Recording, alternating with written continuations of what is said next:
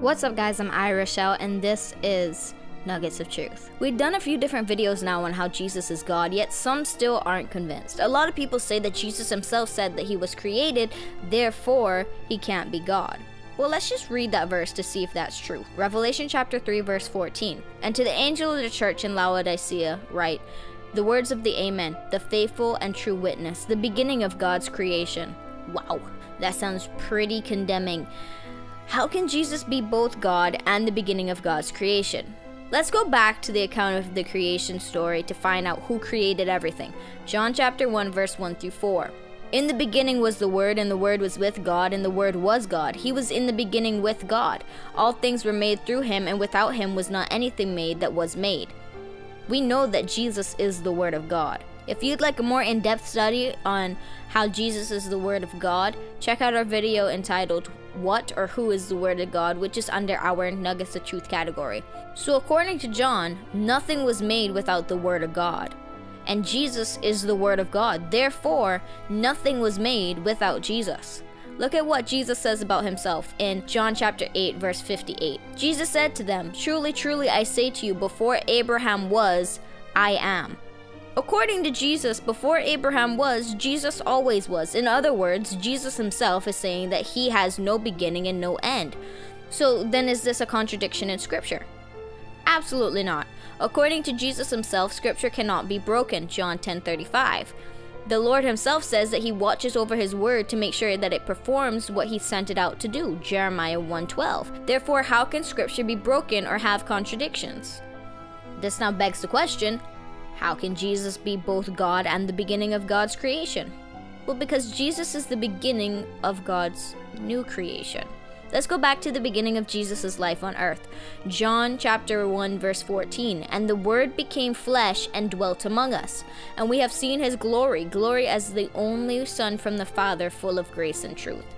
The word of God became flesh. In other words, God became man. Philippians 2 5 through 7 puts it this way have this mind among yourselves, which is yours in Christ Jesus, who, though he was in the form of God, did not count equality with God a thing to be grasped, but emptied himself by taking the form of a servant, being born in the likeness of men. So Jesus set aside his godliness and took on the form of mankind so that he could save mankind from our sins. Then, after his ministry was finished, he died on the cross. After three days and three nights, Jesus rose to life again. This is where we get our answer. Jesus rose as the first of God's new creation. He did not rise as God, he rose as the first of God's creation, his new creation. Look at how Paul explains it to the Colossians in Colossians 1 13 through 20. He has delivered us from the domain of darkness and transferred us to the kingdom of his beloved Son, in whom we have redemption, the forgiveness of sins.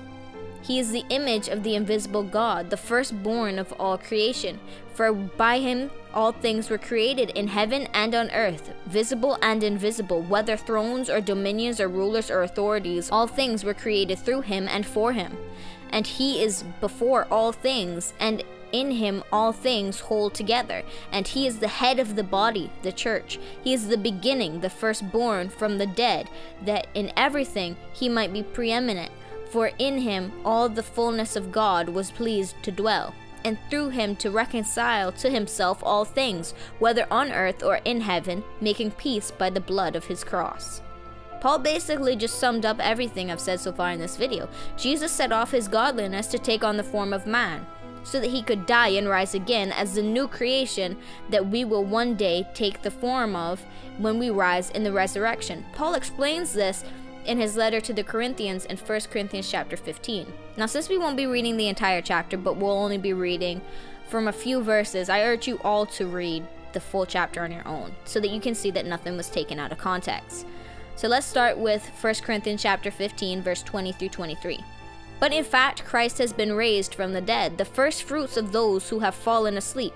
For as by a man came death, by a man has come also the resurrection of the dead. For as in Adam all die, so also in Christ shall all be made alive, but each in his own order. Christ the first fruits, then at his coming those who belong to Christ.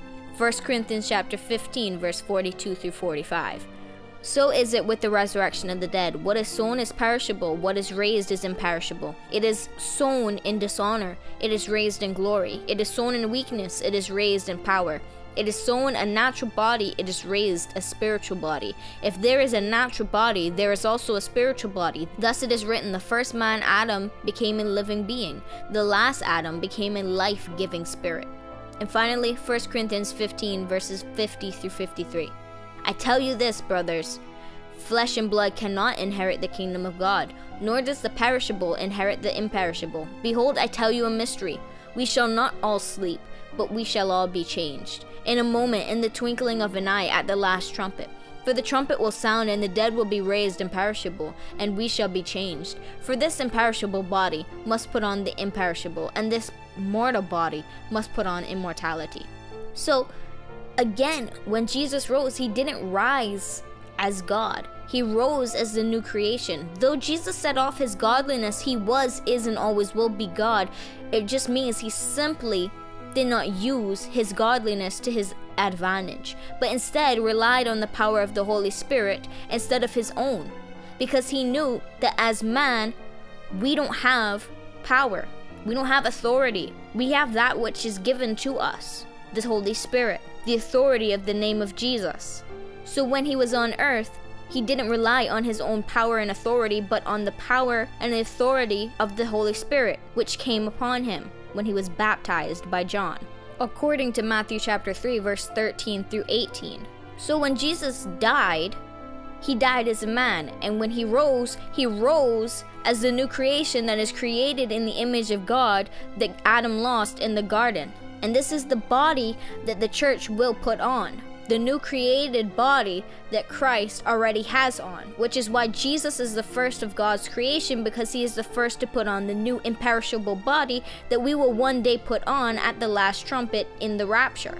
So, let's just sum everything up for you guys. Jesus wasn't created, and said all things were created through him, including the new creation. This is why it's only through him that that we have everlasting life. John chapter 14, verse 6, and Acts chapter 4, verse 12. Jesus had to put on the form of man, the first Adam, so that when he died and rose again, he could rise as the last Adam, giving more than just eternal life to those who believe in him. Now, just as the first Adam's children were born in his image, Genesis chapter 5, verse 3, so are the last Adam's children reborn in, into his image that was lost by the first Adam in the Garden of Eden. 1 Corinthians 15 47 through 49. So, just as we are all sons and daughters of the first Adam, all who believe and follow Christ have become sons and daughters of the last Adam and will also take on his image as we bore the first Adam's image. Romans chapter 8 verse 15. I hope you all enjoyed this video and that it made sense and it maybe cleared up some questions that you had about Jesus being the beginning of God's creation. And if it did and you enjoyed it, please feel free to like, comment, share, and subscribe to our channel. And until next time, God bless.